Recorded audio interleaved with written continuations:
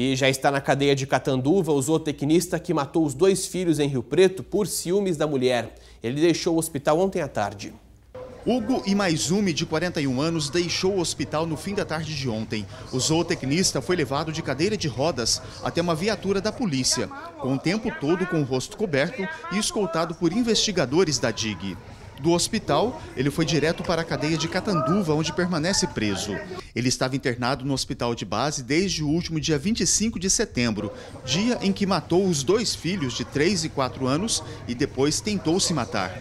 Na última sexta-feira, ele prestou depoimento no hospital, onde confessou que antes do crime deu sonífero para as crianças, para que elas não sentissem dor. Hugo disse que matou os filhos porque não queria que eles soubessem de uma possível traição da mãe. Ele foi indiciado por homicídio duplamente qualificado por motivo fútil.